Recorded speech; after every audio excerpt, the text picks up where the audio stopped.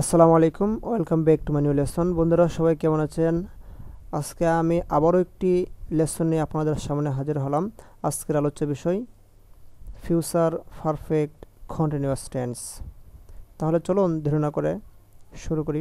Let's go jump to the work future perfect continuous tense, কোনো একটি কাজ পূর্ব, কোনো ঘটনার পূর্ব পর্যন্ত হতে থাকবে। এরূপ বোঝালে ভার্বের ফিউচার পারফেক্ট কন্টিনিউয়াস টেন্স হয়।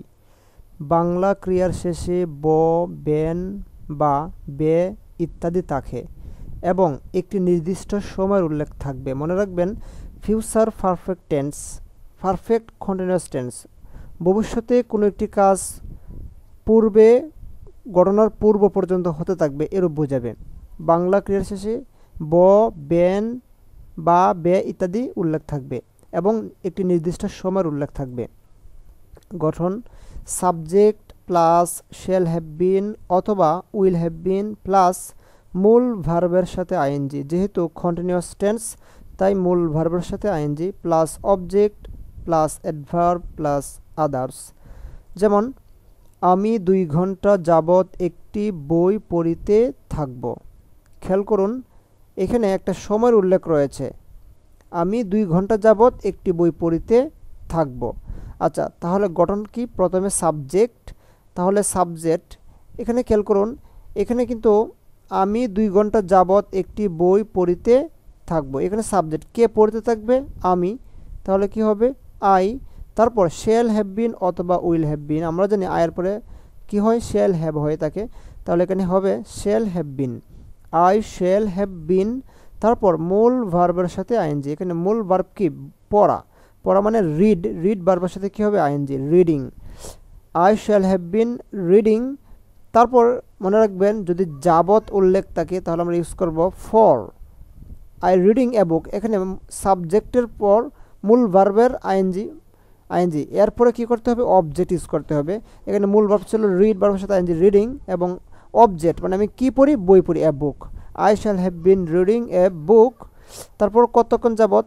এখানে ফর উল্লেখ করে আমরা বলে দেবো, কতক্ষণ যাবৎ? দুই ঘণ্টা যাবৎ ফর টু আওয়ার্স তার বাবা আসার পূর্বেই রাজু কাজটি করিয়া থাকব। রাজু কাজটি করিয়া থাকব। আচ্ছা এখানে আগের কাজ কিন্তু এটা। রাজু কাজটি করে থাকব, তাই এটা আমরা ফিউচার পারফেক্ট কন্টিনিউয়াস টেন্সটা ইউজ করব। আচ্ছা এখানে কে করে থাকবে? রাজু। তাহলে সাবজেক্ট হবে রাজু। তারপর সেল হ্যাভ বিন অথবা উইল হ্যাভ বিন যেহেতু থার্ড পার্সন সিঙ্গুলার আমরা এখানে উইল হ্যাভ বিন ইউজ করব।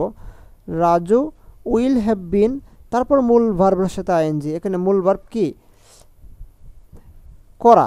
করা মানে কি? ডো ডো ভার্বের সাথে কি হবে? I N G Raju will have been doing আচ্ছা তারপরে অবজেক্ট অবজেক্ট অবজেক্ট বলতে এখানে কী করবে? কাজটি দ্য ওয়ার্ক দ্য ওয়ার্ক তারপর যেহেতু এখানে পূর্বে উল্লেখ রয়েছে, তাই আমরা ইউজ করব বিফোর বিফোর তারপর যে কাজটা পরে হয়েছে সেটা হবে ফ্রেজেন্ট ইনডিফিনিট অথবা ফিউচার ইনডিফিনিট যে কোনো একটা। আমরা এখানে ফ্রেজেন্ট ইনডিফিনিট ইউজ করব। মাই ফাদার বাবা আসা তার বাবা আসা অথবা আমার বাবা, এখানে মাই ফাদার ইউজ করলাম, এখানে হবে his father his father come his father comes যেহেতু তার প্রসেসগুলো তাই মূল বারবার সাথে এস এস ইউজ করতে হবে।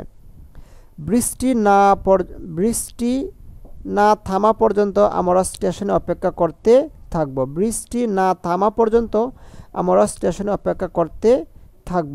আচ্ছা এখানে আমরা আমাদের এখানে প্রথম কাজটা হচ্ছে আমরা স্টেশনে অপেক্ষা করতে থাকব। সো আমরা এই কাজটা এখানে, এটা হবে ফিউচার পারফেক্ট কন্টিনিউয়াস টেন্স তাহলে খেয়াল করুন সাবজেক্ট আচ্ছা আমরা অপেক্ষা করতে থাকব, তাহলে কি? সাবজেক্ট এখানে কারও অপেক্ষা করতে থাকবে? আমরা।